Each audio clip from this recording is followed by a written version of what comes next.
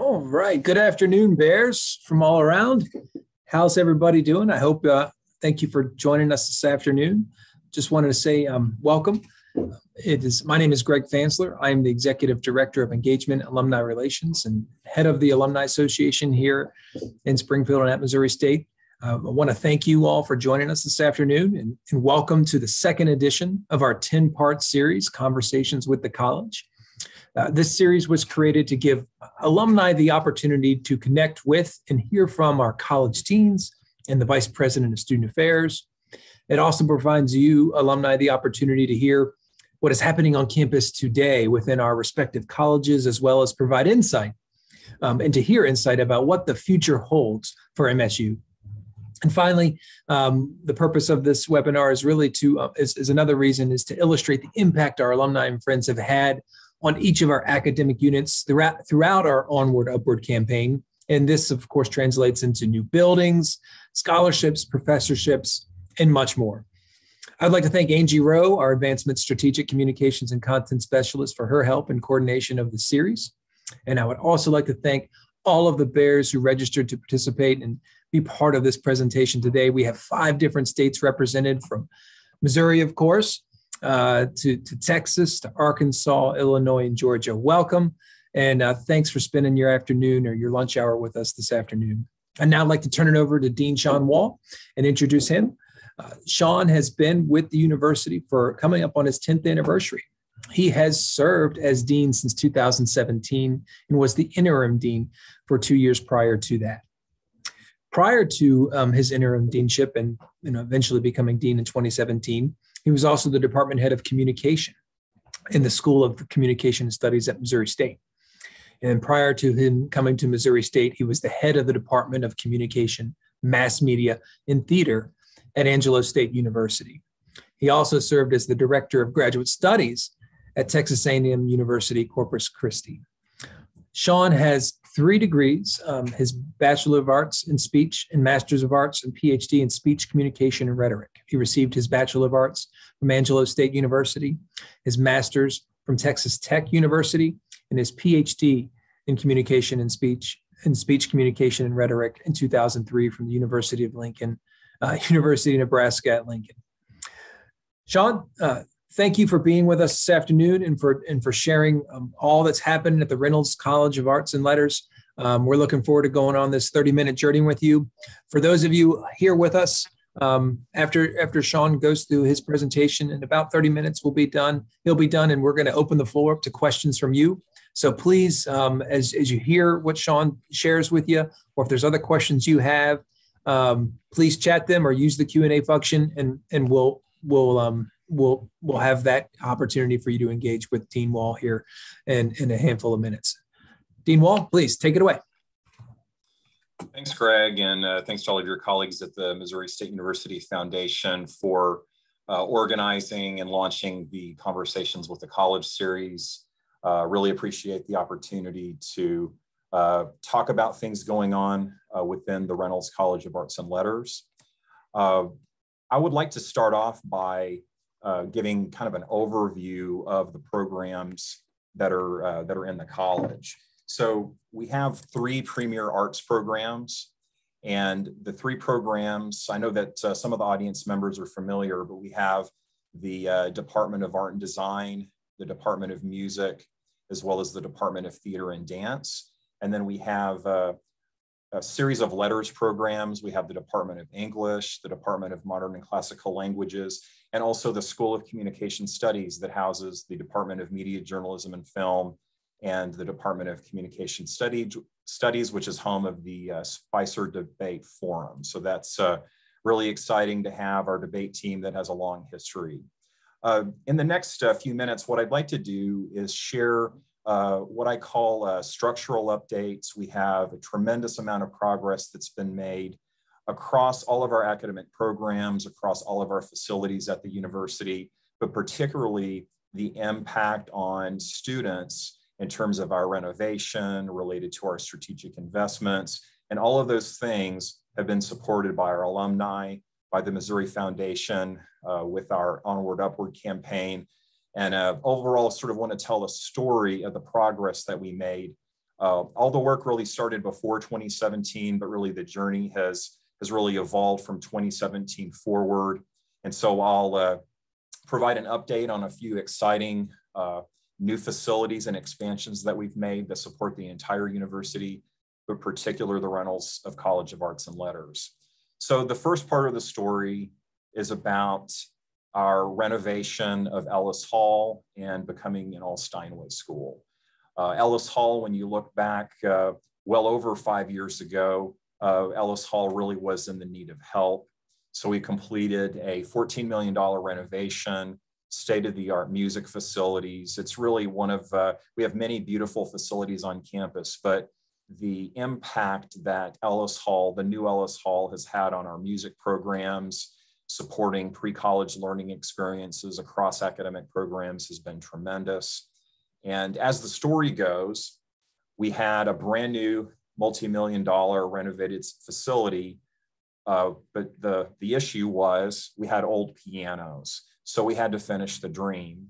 So through the support of donors, friends, people across uh, the entire Missouri State University community, we put together a multi-layered uh, collaborative funding model that made becoming an all Steinway school a reality. And so uh, just a few years ago, uh, I'll never forget that day. And I'm so grateful uh, to the, the leadership of uh, President Cliff Smart, uh, our provost, Dr. Frank Einhellig, uh, definitely champions of all academic programs. And we were able to officially celebrate the all Steinway school status just a few short years ago. So what that does is an example of private money and support of, of, of facilities that helps us recruit highly qualified and diverse students and continue to expand to train teachers for the future to serve all of Missouri uh, and beyond.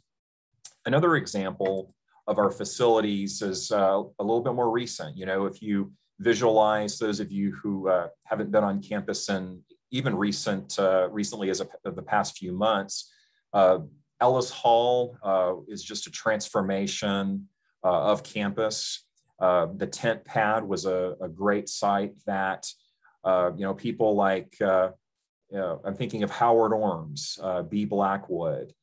We have such a, a, rich history when we look at tent theater, but also the opportunity to create uh, an arts park and a facility that's going to benefit the entire uh, Missouri State University community for years to come.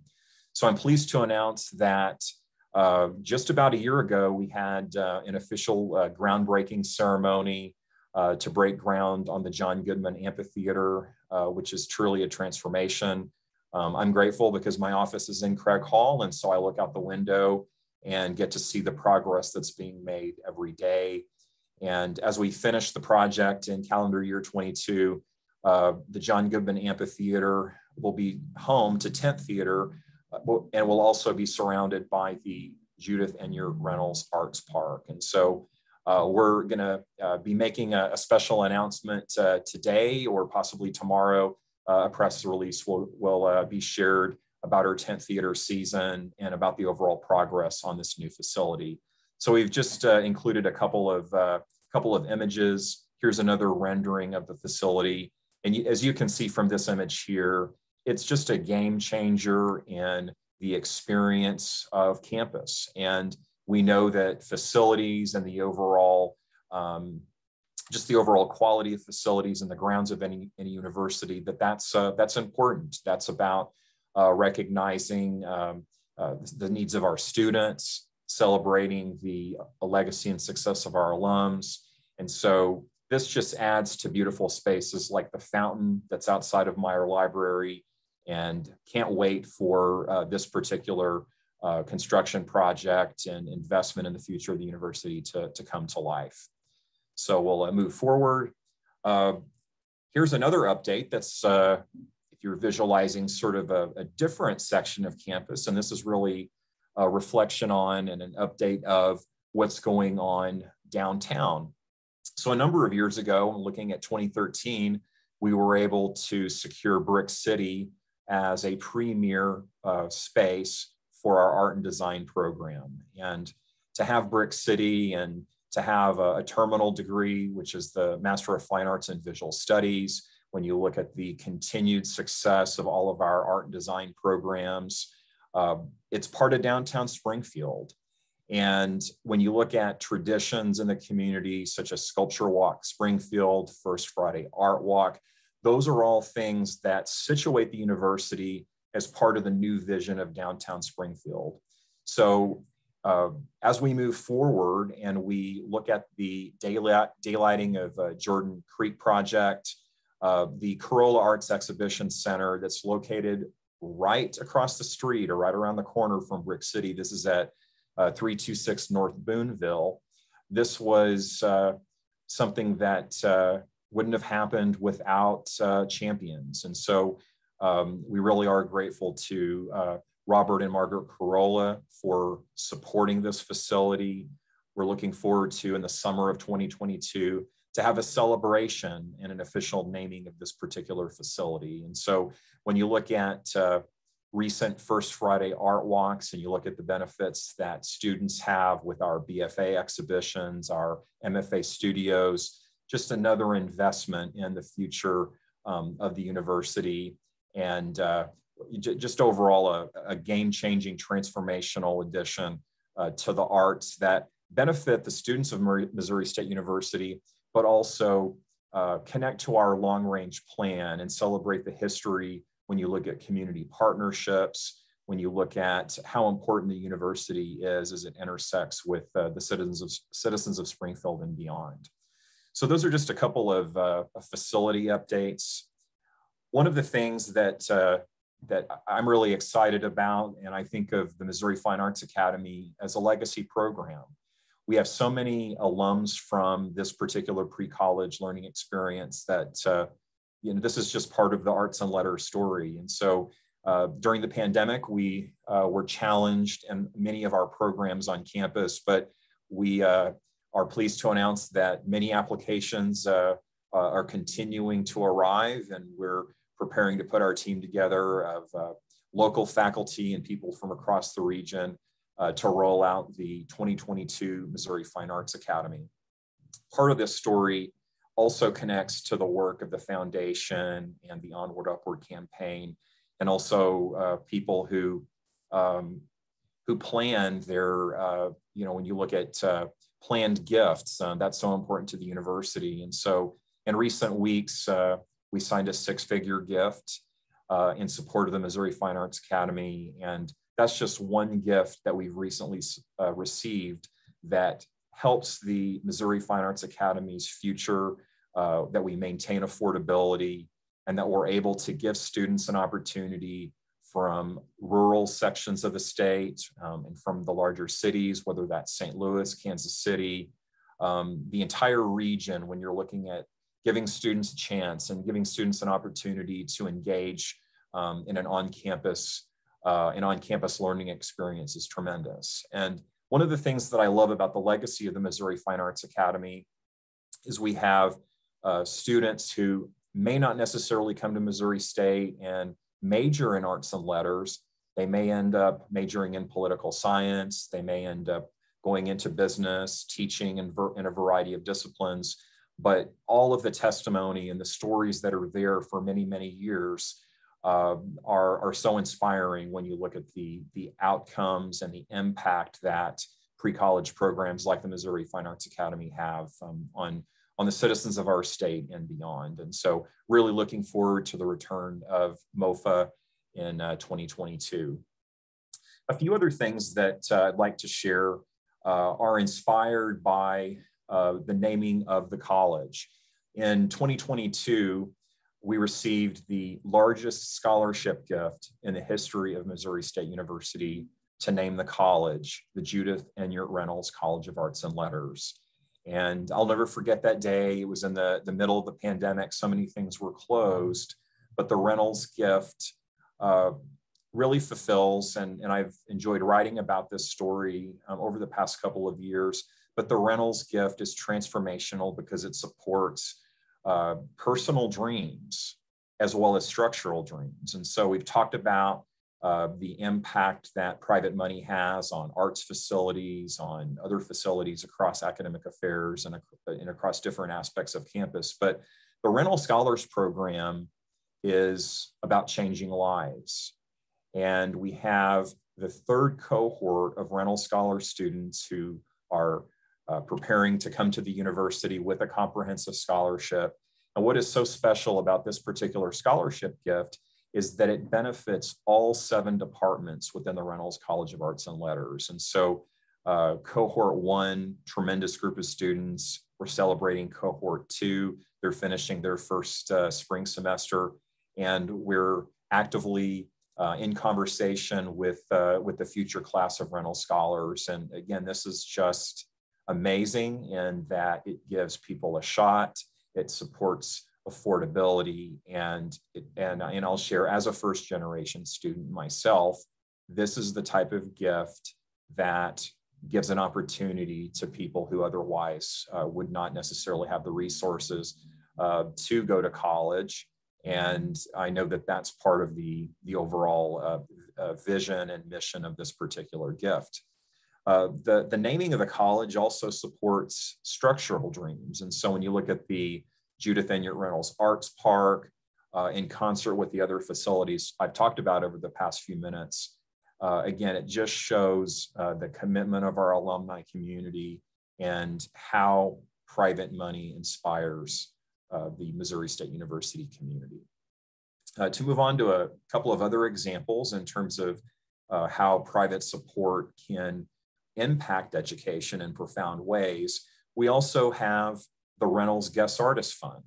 We've had a series of guest artists who have experience in a variety of things. The, the first part, or the first impact of the Reynolds Guest Artist Fund has this year focused on the Department of Theater and Dance. And so we have industry actors, dancers, people from all over the nation who are in professional jobs who are able to come and visit with our students, facilitate master classes, partner with our faculty, and, and those things are so important across all academic uh, programs of the whole university.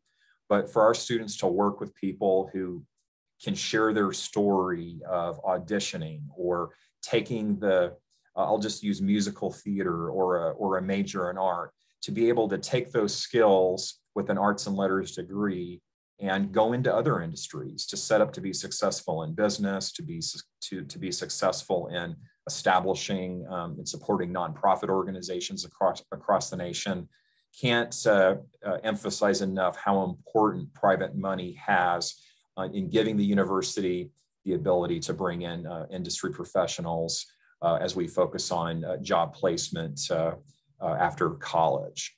another example that we'll move forward to is uh, one of our uh, new academic programs. Uh, part of the long range plan emphasizes the evolution and establishment of academic programs for the future. So as we look across academic colleges, we see progress in developing and offering professional doctorates. And the other part of that is that we're also able to offer uh, the MFA as a terminal degree. So the Reynolds College has two MFA programs. One is the Master of Fine Arts in Visual Studies, and many of the MFA studio spaces are actually housed in the new Corolla Art Center that I shared a few minutes ago.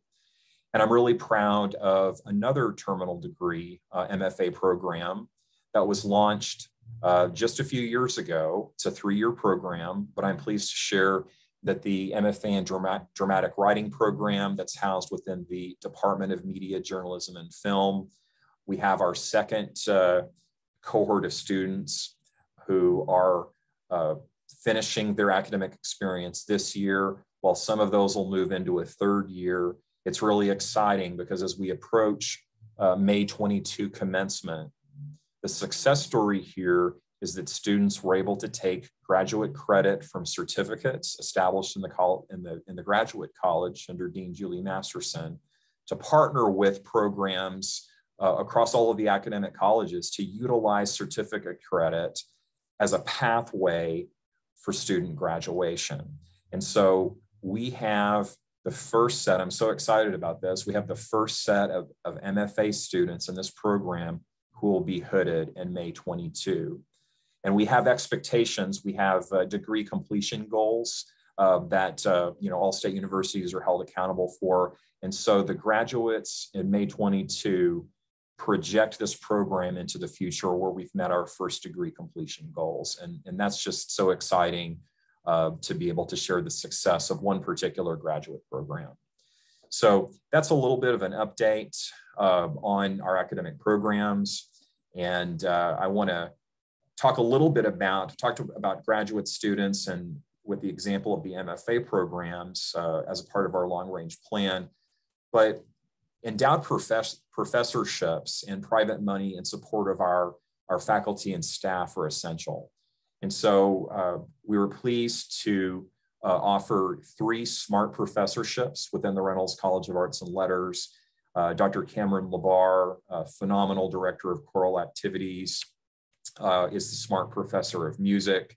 Uh, Dr. Etta Madden, SMART professor of English. And uh, last but not least, we have Lisa Brescia, SMART professor of musical theater. And so overall wanted to provide a, a survey uh, to show uh, the benefits of our alumni community, uh, friends of the university, and how that helps the uh, helps Missouri State move forward uh, in positive ways as we uh, look for various resources and strategies to complete, successfully complete the university long range plan from current to 2026.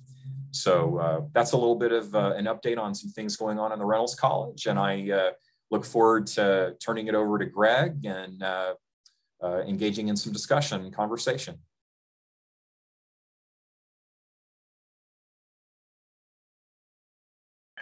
Dean Wahl, thank you. Uh, thank you for your time and for this update. Um, you, you, mentioned the MFA program. Is there, um, are there other academic um, department majors that you foresee coming into the future as in, in your long-term vision for what the Reynolds College of Arts and Letters was going to be and, and what what can alumni expect to see as they may be having students who are interested in, in coming to um, and enroll at, at, here at Missouri State and particularly in your college? Yes, uh, in addition to the uh, MFA in Visual Studies and the MFA in Dramatic Writing, we also have uh, actually programs that have been uh, uh, been successful for many years. And so I, uh, I think of the Master of Arts in Communication. That's a program that students either land in, in professional jobs. Many of the MA in communication students are going on to PhD programs some of the uh, graduate assistantships uh, within that program uh, tend to work uh, for the debate program, uh, which I believe the Spicer uh, Debate Forum is, is clearly a legacy program at the university. And so I'm pleased to report that the MA in Communication, we continue to have a, a robust residential program uh, with the MA, we do have uh, online options for certificates and other uh, more professional focused programs. I'm thinking of uh, our uh, applied communication uh, Master of Professional Studies, uh, which is a great path, pathway for a student to earn a certificate first and then consider applying to the MA in communication or, or other graduate program offerings across the university. also in the Department of English, uh, the Master of Arts in English is uh, continues to be tremendous. We have uh, a really great team of graduate teaching assistants that mentor students in uh, public speaking, our writing program.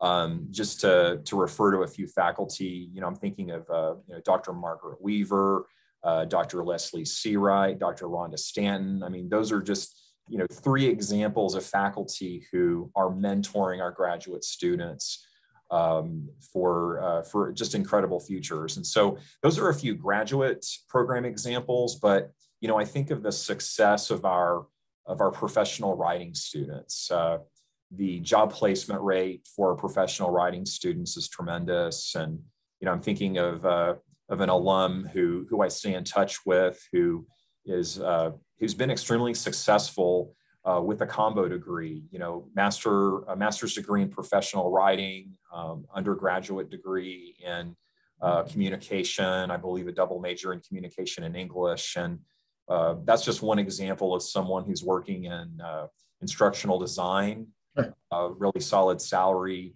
Uh, the same is true for our undergraduate students and uh, and the like. So those are just a few examples.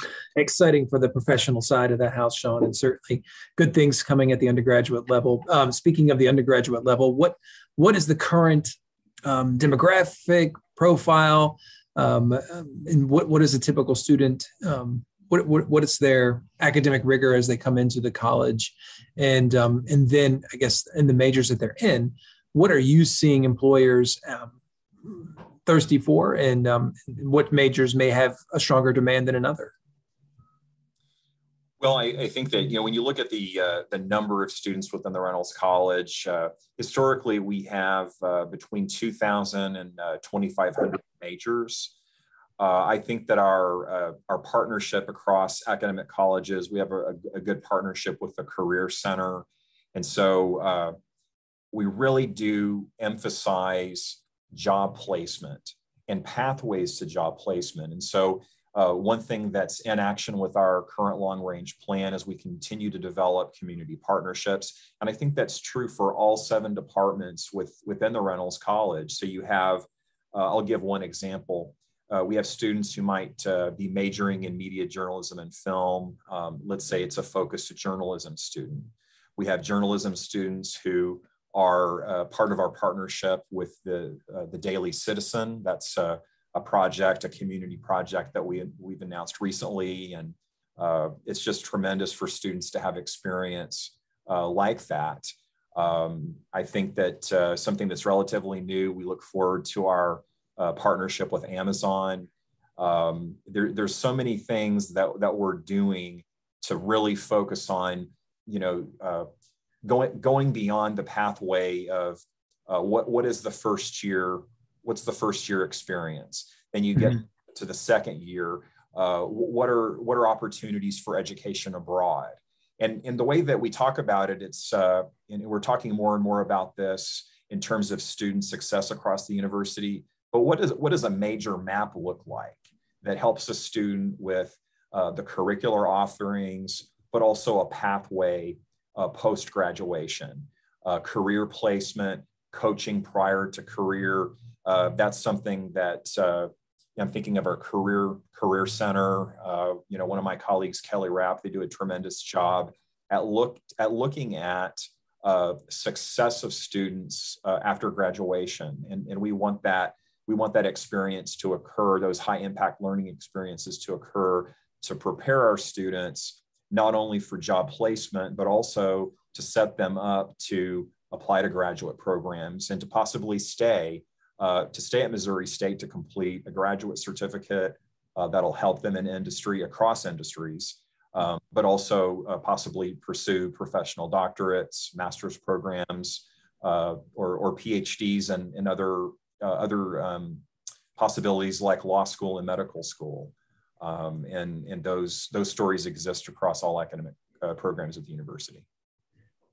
Well, you, you mentioned experience um, and what they can provide. Just next week, actually, I know your theater and dance department students are are splitting the country, and some are going to New York uh, to to connect with bears and who are who are in the in the Broadway theater um, industry. In fact, one is actually launching a brand new um, um, Broadway show that the students will get to see as it and it's one of its initial um, debut plays. And then and I think another group's going to be in LA uh, to connect with with folks in, um, in, in the movie business. And I know that I'll be there for that and connecting with Lisa Bres- um, Bresky. So certainly opportunity uh, abound for students to to continue to um, um, to have this unique opportunity to connect with alumni in the field. I think it's special uh, that your faculty are out there um, when we were in the Missouri Valley Conference uh, tournament last week. Certainly, the, the, Pride Band is alive and well. Um, is there are there any talking points you'd like to share about um, what's happening in, in, in, these two parts of the um, of your college and department? Yes, I think the examples that, that you used with the uh, the uh, musical theater events we've had, uh, it shows that we have a um, a really strong alumni network uh, in mm-hmm. New York and in other areas like DC. And I, I think the alumni events, especially um, my time uh, attending uh, the, uh, the showcase in New York City, I'm so glad that we're bringing events like that back. But our, our current students have an opportunity to network with Missouri State alums. And it just shows the benefit of the work that you, you and your team and Brent done, what you're doing to, to facilitate those relationships, to keep that engagement and that connection with the university, because those lead to uh, positive relationships. Uh, you know, bears that are out there and working across industries are inspiring current bears. And, you know, I believe the value of, uh, you know, of alumni engagement. It's also about network, networking for jobs and giving those students that, that pathway and that experience, um, you know, in industry uh, to be successful. So, um, you know, can't say enough about, uh, you know, about those sorts of events. And then you look at our, uh, the Pride Band, um, really large band, uh, typically has 350 students. And uh, again, to use that, to use an example, and, and by the way, the, in the marching band and our choral program, those are students who, uh, who, who, come from uh, all different interests. So we have business majors, uh, representatives from across academic uh, colleges uh, who were in those programs. And you're, you're asking about the band. I mean, that is a uh, just a, just an amazing uh, network uh, that has a rich history.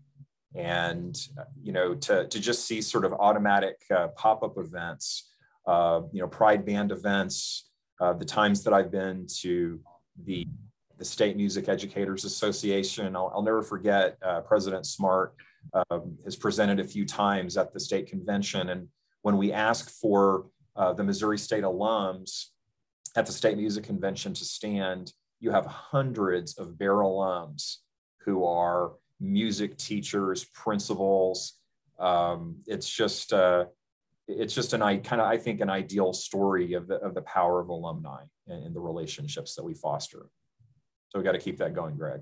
Indeed, indeed. So my last, I guess I'm running out of questions here. So please feel free to chime in for those of you on the call, and, and do type in any, any questions or thoughts that you'd like to share with Dean Wahl.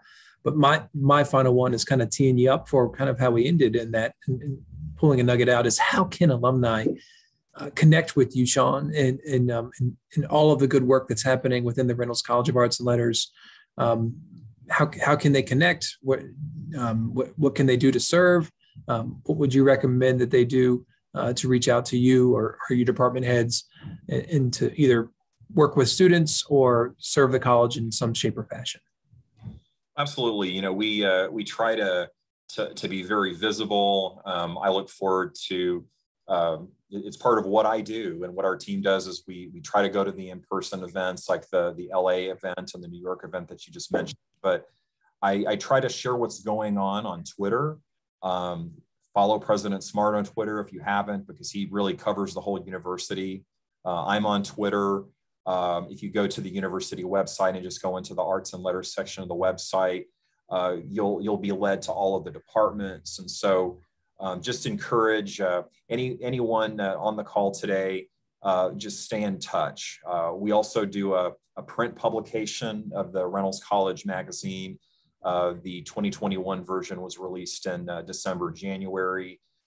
so, so anything that we can do, anytime you want to come back, we have some just incredible events when you look at homecoming, the uh, celebration events, the success of our Onward Upward campaign lots of amazing things to celebrate in the coming months. And uh, any also anytime you want to come back, um, just let people know that we, you know, we're open to uh, to hosting alums for whether it's uh, campus updates, tours, performances, or if you have something you want to share, any of our alums want to share in terms of recruiting uh, for uh, for employment opportunities, uh, to present master classes across academic areas and topics. We're, we're open to all of that. So reach out anytime if you have any questions. Follow me on social media. Uh, happy to help. Okay, thank you, Shawn. And then I think there will be an announcement coming out soon. I, have heard through the grapevine about Tent Theater coming up and some the alumni should be on the lookout for a press release here soon, right? Yes, I think we'll we'll be seeing uh, that should happen this week. We're going to okay. make uh, make an announcement about uh, uh, about the John Goodman Amphitheater and the season of Tent Theater. Uh, really exciting news uh, and exciting updates to share to share with the world. So that'll be coming maybe today or tomorrow. So yeah, oh wow, yeah. breaking news! Stay tuned, everybody. Stay tuned. All right. Well, um, I see that uh, Brent Dunn here, a vice president for advancement, and is has joined us. Brent, um, we we are wrapping up here. I don't have any questions right now. More to to ask Dean Wahl. He's could he could be off the hot seat. Uh, would you like to share any words with us, uh, Brent, about the campaign? Sure. Thank you very much. Um, and this campaign is is really really exciting. Has changed the the university uh, a lot. And so we opened this up in 2019 on it was October 26th. And the goal is to raise $250 million um, for really four areas scholarship support, um, capital support, program support, and faculty support. Uh, and of course, our chairman uh, comes from uh, uh Shawn's College, uh, John Goodman, uh, who everybody, probably our most recognizable um, alum in the world, uh, is chairing the campaign. He made a very nice gift for the amphitheater. Um, and so here, here's the date I want to make sure everybody has on their calendar, and that's October 29th of this year. That is when we close the campaign and celebrate the changes that the university has uh, experienced because of the generosity of right now 60,000 people have made gifts uh, to the campaign. So this event is going to be held in JQH Arena. Uh, the doors open at seven. The, the program seven thirty to to eight thirty. Probably a very high energy, uh, very fun celebratory type of event. Uh, a lot of people from the College of Arts and Letters are participating. The entire grand chorus, the, the 300 plus member uh, Bruin Pride Band, um, and, of course, John Goodman is emceeing. And, and we're going to have a nationally recognized recording artist, actually, Grammy award winning uh, uh, artist, that will be uh, participating in this celebration uh, event as well. More on that. But um, we want everybody to be here. That is homecoming. So lots going on on campus. Certainly that uh, Saturday, the football game, the parade, but then at night we're culminating uh, that week with this very very special uh, event uh, that will be held at JQH Arena. And John Goodman, of course, uh, is excited about this and and has put a lot of energy in this campaign. And and he does it because he wants to see the impact on students. And and so uh, please put that date down on your calendar. Uh, that will be a very fun event and really highlighting a lot of the the reynolds college of arts and letters greg Thank you, Brent. I appreciate that update. And so we have October 29th. That's a date we're all circling right now on our calendars, but there's seven and a half months between now and then. And there's a lot to be happening between now and then. So please be on lookout for Maroon Nation in your inbox or in your mailbox. We're coming to you through the magazine. We're coming to you in your in where you may be living in your regions. Um, I, I know that Atlanta and Texas and Chicago are represented here. We will be in your neck of the woods here in the very distant future. Um, we're excited to be back in person um, with with Maroon Nation events coming your way. Um, so please um, come out, join us, connect, tell us um, what's what's happening, what you'd like to see in your local area. Um, would, would love to help plan events for you. There'll be a chapter network that will start to form over the summer where we're going to identify alumni in your local communities uh, to help plan events for alumni, uh, from young alumni to service events, golf tournaments, and the like. Uh, so we're, we're looking forward to being out and about. There's 135,000 bears out there.